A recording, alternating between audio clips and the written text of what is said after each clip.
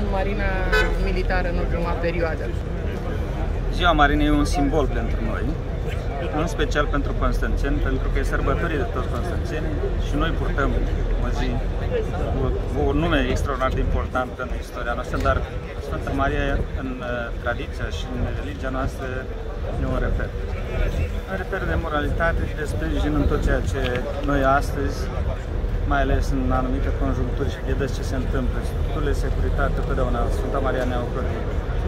E, e o normalitate prezența femeilor, sigur că demonstrează că au forță și pe undeva îi cam disciplinează pe bărbați, pentru că îi faci aibă un comportament mai responsabil.